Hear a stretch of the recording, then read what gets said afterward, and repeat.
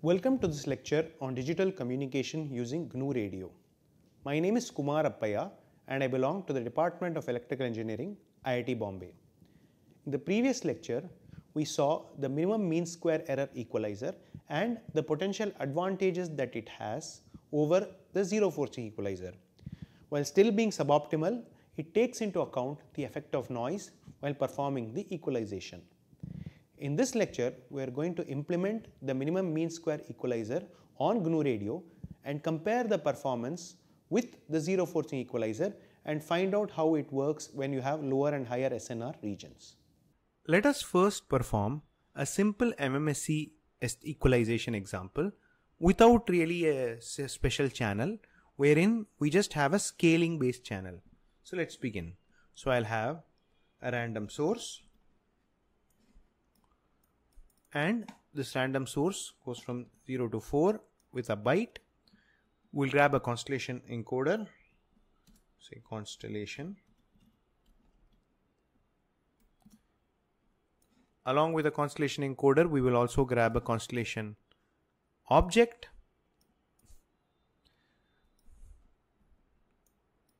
And we will then grab we will then grab a throttle because we are performing a simulation. Connect these up. We will use the default QPSK constellation. We'll call it my const.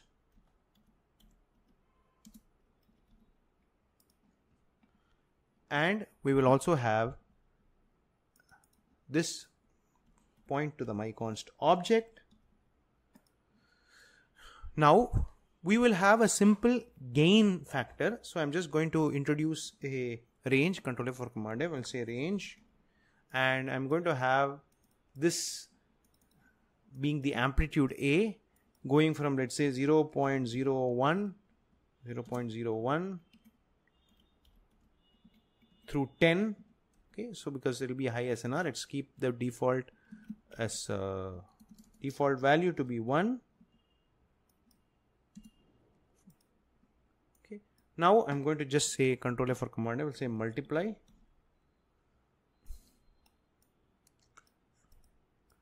And we will just add a multiply um, we'll for multiply we'll add a source constant source.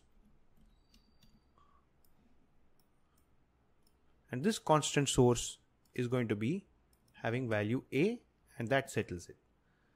Next we add noise unit energy noise control for command F we'll get a noise source. We'll do add. Whatever command F? We'll say add. And now we're going to do a simple analysis of two equalizers. Of course it's very simple. The zero forcing equalizer just says undo the channel. In this in this case our channel is just the value a. So we will do 1 upon a.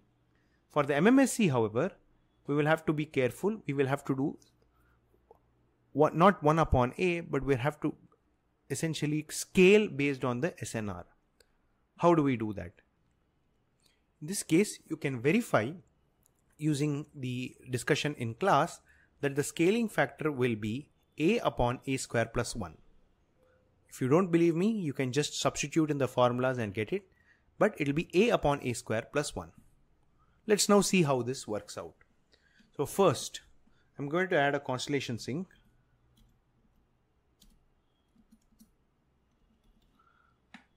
And in this constellation sink, we will take two objects, two inputs. The first one goes through just 1 upon a. The second one goes through a upon 1 plus a square. So let's add two multipliers. We'll just copy this, control C, control V. And we'll add a constant source, control C, control V over here.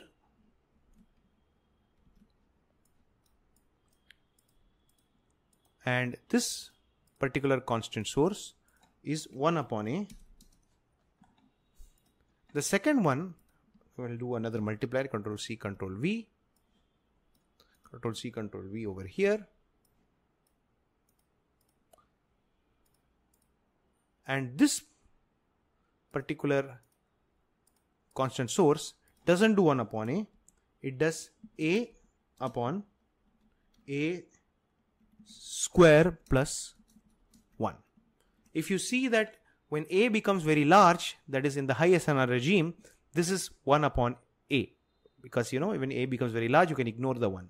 Alternately, you can also write this as 1 upon plus 1 by a. Also, that will also give you the same result. But for convenience, I am going to write this as a upon a square plus 1. Let us now execute this flow graph. Of course, uh, the value of A and the corresponding noise are resulting in this. If I start increasing this A, you can see that the constellations start becoming more discernible. Okay. In fact, let's make A go to a higher value. Let's say let's allow A to go to about 100 and step also let's make it 0 0.1 I think that makes it better. Yeah. So now let's set A to somewhere here. You can see that this is very high SNR regime and in the very high SNR regime, you can see that the zero forcing and MMSE equalizers are very close, which satisfies our intuition. But as you make the SNR lower and lower by reducing the A, let's say you start making it this over here, you can slowly see that the blue points, the blue parts of the constellation that correspond to the zero forcing essentially start shaking a little more and going further out. Let's actually just do one thing. Let's increase the number of points the constellation shows. Let's also increase the number of points this random source shows, uh, essentially generates, and let's also increase the sampling rate to get somewhat faster results. If I execute this flow graph, and let's say I set the SNR to a smaller and smaller value, you can see clearly that the blue parts are outside the red parts, which means they essentially end up spreading more. And as my SNR becomes lower and lower, it is very evident that the blue parts are going further and further out.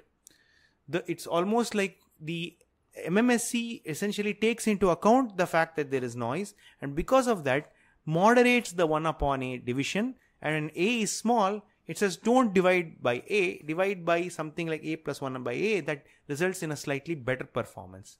Unlike the mmse which just says even if a is 0.01 you just divide by 1 upon a.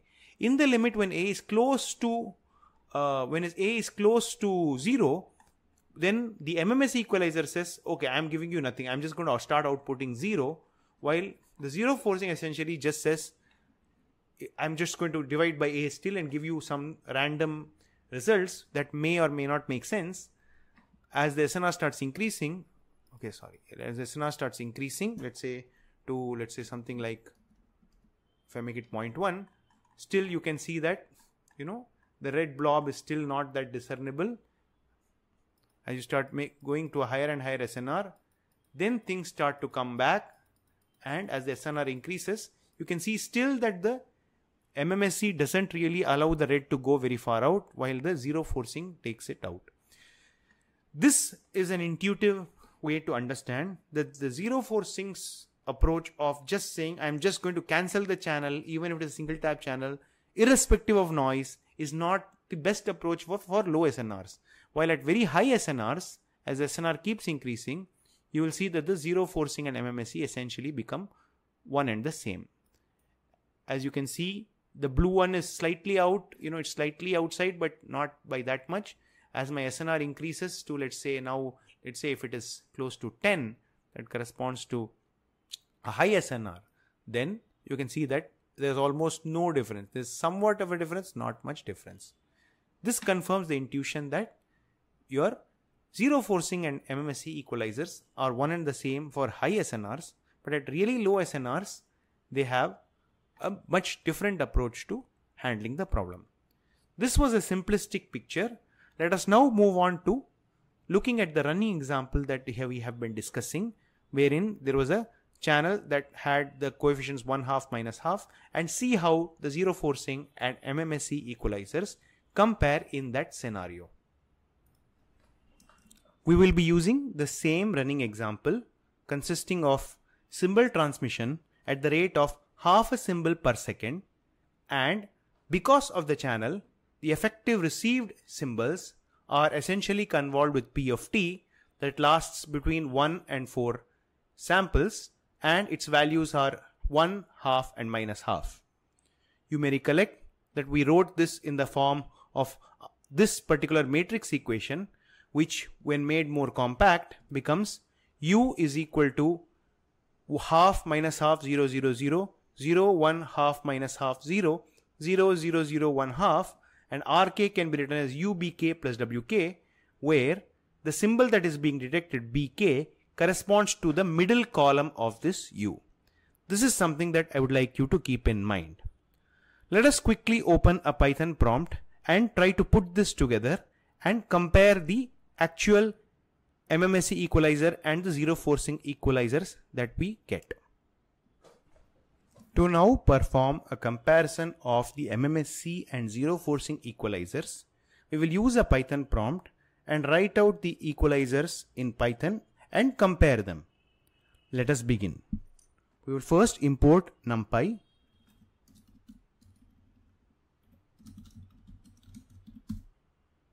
Next, we will write our U matrix. Remember that the U matrix had the columns which corresponded to 1 half minus half and so on. But the first column was half minus half and three zeros. The second column had 0, 1 half minus half 0. The last column had three zeros followed by 1 and half. We will write them in the row form and take the transpose. So u is equal to np dot array. Remember the first column had half, minus half and three zeros. Let's write it.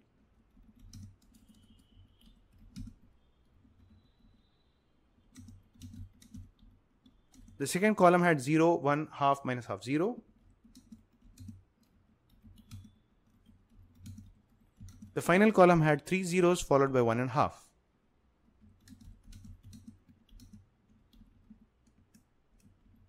The dot t ensures that we get a transpose. If you now look at your u, you can verify from the slides that this is indeed the u that you want. Let us revisit the zero forcing equalizer that you evaluated earlier. If you remember, the zero forcing equalizer CZF can be evaluated by using the formula u multiplied by and in Python recent versions of Python at least you can use the at the rate operator for performing matrix multiplication np dot, dot inverse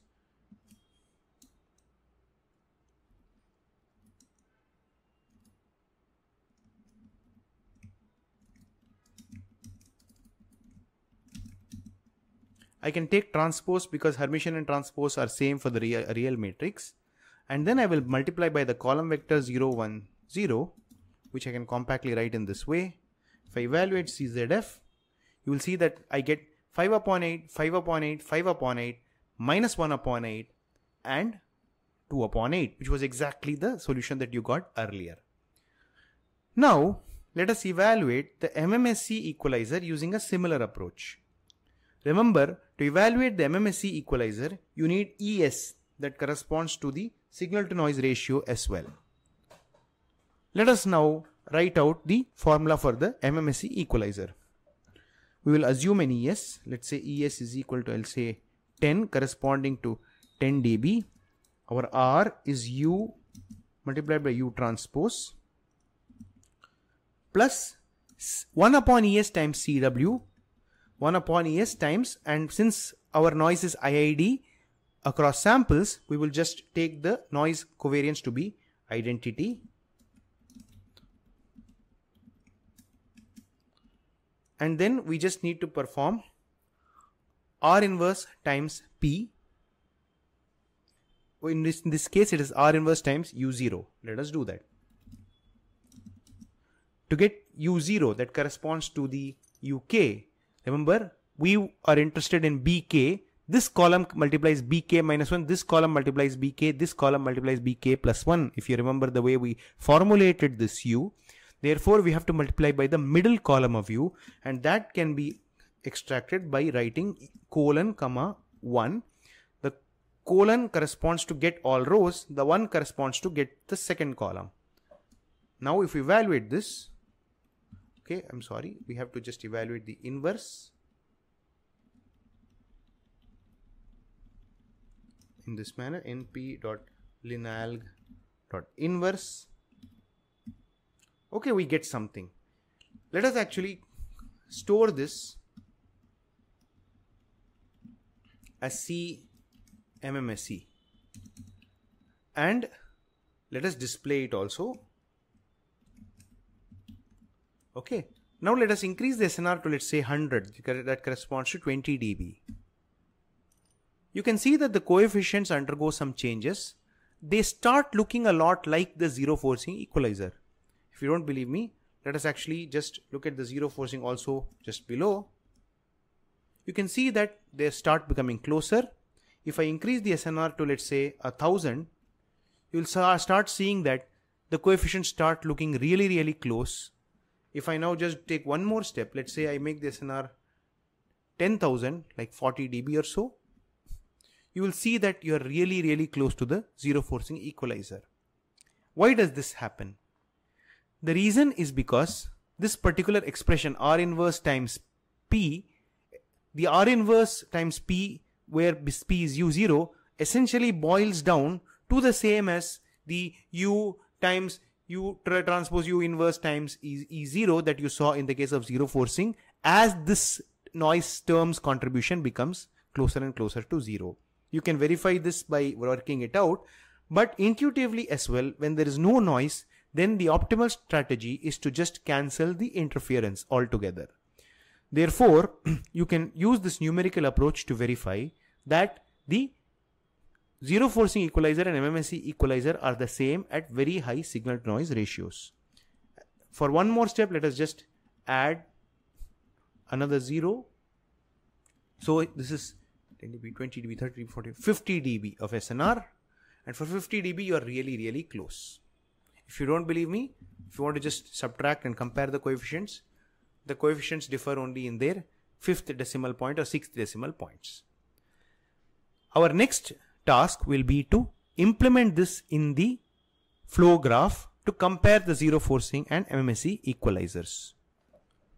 To perform the comparison of the performance of the zero forcing and MMSE, MMSE equalizers, we will build upon the flow graph that we used for the zero forcing equalizer. We have built this a couple of lectures ago. If you do not have this flow graph, I urge you to follow along in the zero forcing GNU radio related lecture and build the flow graph so that we can now take this forward and build the comparison between the zero forcing and MMSE equalizers. Our first endeavor here will be to add a variable that corresponds to the matrix U. So let's do control F for command F and say variable. But before that, let us actually just do import of numpy because it will come in very handy. So I'm just going to do the import first. So we will grab our import block. We will write import numpy as np.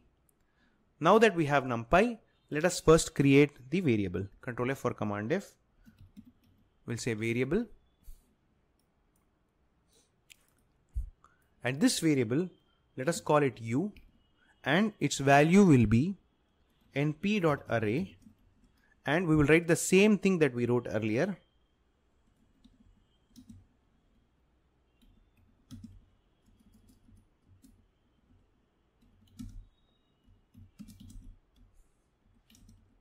This is the first column. The second column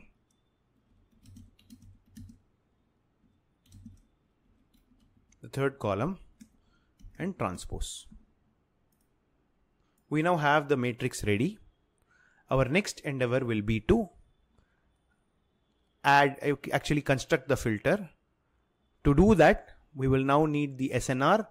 The noise STD essentially is our proxy for SNR. The noise STD gives the noise power and the signal power is 1 because we use a normalized constellation. Therefore, our ES is just going to be 1 upon noise std square. Now, to actually perform a comparison of the zero forcing and MMSE equalizers, let us first remove the, uh, the extra constellation points over here and then we will first make this have only two inputs the first one being the zero forcing based constellation and we will just add the MMSE based constellation as well. For the MMSE based constellation, we will be creating another pair of interpolating FIR filters that will take in coefficients that correspond to the MMSE equalizer. Now, we're just going to create a copy of this. So control C, control V. Now these coefficients are going to be determined at runtime we will double click this. This is not going to be 2 by 8, 5 by 8, 5 by 8. We are first going to perform R inverse times P and then take the particular coefficients that we need. So in this case, we will do np dot linalg dot inverse. Okay. Now we are going to do u at u transpose plus 1 upon noise std square sorry noise std square because es is 1 upon noise std square times np dot i 5 let's make this wider so that you can see this okay we now have the inverse times u 1 Let's see whether what this does. Okay, there is a slight error. Yeah, so yeah, so we can't evaluate it because the the singular when noise std is 0, no problem. Let's actually just set the D, noise std to start at 0.01 so that we don't have the zero related issue. So now there should be no problem this is done, but we don't need all the coefficients. For this particular filter, we need the first, third and fifth coefficients. So what I'm going to do is, I'm going to actually index them by using first swapping them, uh, sorry, by first reversing them and then we will go from the last coefficient to the first coefficient in this manner or let's first reverse it. Let's first make it simple. Colon colon minus 1 reverses the sequence. Then we need colon 2 every other sequence. Let's check. So as a sanity check, let's actually just, yeah, the noise SNR is very low. As a sanity check, you will see that the coefficients are close to 0.25 and the last coefficient is close to 0.625. Similarly, I'm just going to copy this rather I'm going to copy this interpolating filter control C paste it and I'm going to change this one by double clicking on it and I'm going to take only the instead of the first third and fourth I'm going to take first third and fifth second and fourth. So I'm just going to put a 1 here. 1 colon colon 2 will ensure that I get the second and fourth coefficients. So that gives me minus 125 minus 125m that is minus 0.125 and minus 0.625 this essentially makes my MMSE equalizer, equalizer very, very easy to build. Let me just make everything visible for you.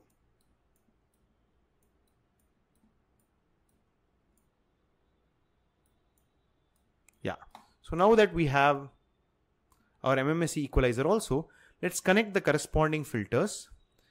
And again, I need an adder, control C and control V will add these two up.